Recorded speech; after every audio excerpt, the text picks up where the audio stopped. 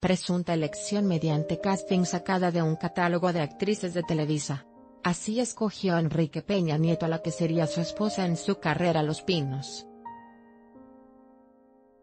La elegida fue Angélica Rivera, quien venía de una telenovela exitosa, atrás quedó Galilea Montijo, quien resultaba alta para el mexiquense y tenía un pasado cuestionable, fue bailarina de table dance en Guadalajara.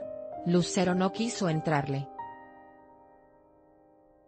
Incluso, dicen, hubo casting. Estos detalles los narra la periodista San Juana Martínez en su columna, en la que reitera la versión de la separación entre el presidente y su esposa.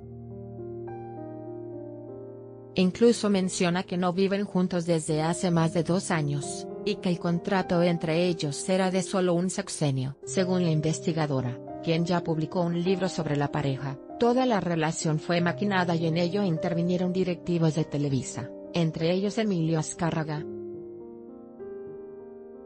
Los presentaron y poco a poco se fueron mostrando en público. Primero en lujosas bodas, la de Ninfa Salinas y Bernardo Sepúlveda, y después en la de Chantal Andere y Enrique Rivero Lake, esos mismos que causaron polémica durante la pasada ceremonia del grito. Después, en el funeral de doña María Antonieta Arellano, mamá de la actriz Daniela Castro, esa que recientemente detuvieron en Estados Unidos por robar ropa.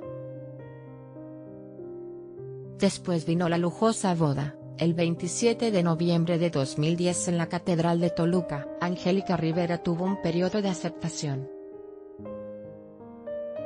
Pero su declive llegó muy pronto cuando sus excesos se hicieron evidentes, su vestido Oscar de la Renta en Palacio Nacional, los viajes de compras al extranjero de ella y sus hijas, así como todas las prendas de diseñador que la familia portó en eventos diversos, la gota que derramó el vaso, la Casa Blanca y su fallido intento de justificar su adquisición, y minimizar el conflicto de interés en la compra de sus propiedades vinculados a proveedores del gobierno.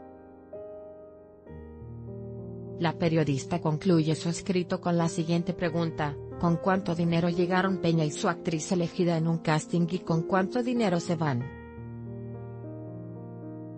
Y agrega líneas adelante, la pareja perfecta, debería ser investigada y procesada. Su historia de mentiras y simulación, es también una historia de saqueo, de robo al erario, de excesos, de corrupción. ¿Usted, qué opina? Megamedia.